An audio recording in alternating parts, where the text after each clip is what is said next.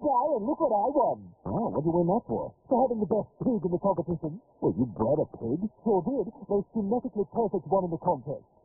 Oh, oh my God. Yeah, he's something, isn't he? I think he's this. Damn right, show him, pig. Oh.